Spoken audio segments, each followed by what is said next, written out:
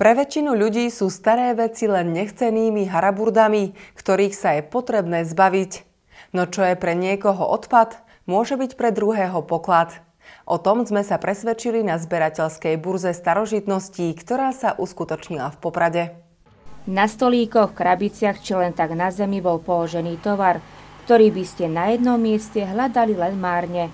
Máme tu zlaté mince, máme tu brilianty, máme tu diamanty, ale máme tu aj dozičky za 3-4 eur.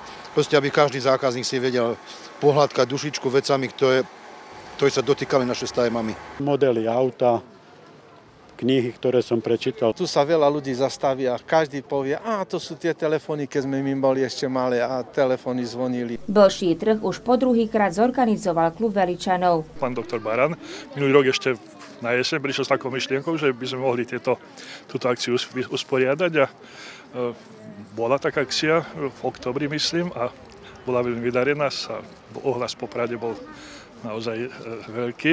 Hlavne to robíme preto, aby sa tieto veci zachovali aj pre ďalšie generácie, aby sme mladým ľuďom vychovali vzťah nielen k internetu a nejakým bojovým hrám, ale aby sa dokázali potešiť aj vecami, ktoré majú minulosť. Na jednom mieste sa nachádzala zrejme najväčšia koncentrácia nechcených vecí v Poprade.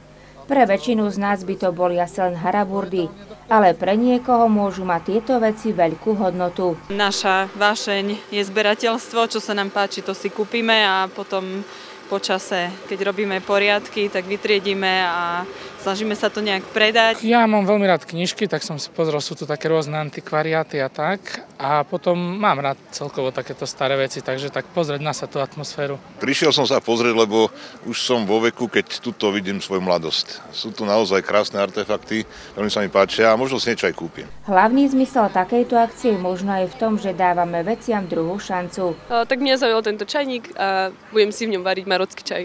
Ja zbieram knihy, tak, tak nejaké tituly si kúpim. Prišiel som kvôli tomu, že zháňam gramofonové platne do zbierky, ale dnešný deň som nenašiel nič zaujímavé. Blšie trhy sú súčasťou spoločenského života aj v zahraničí.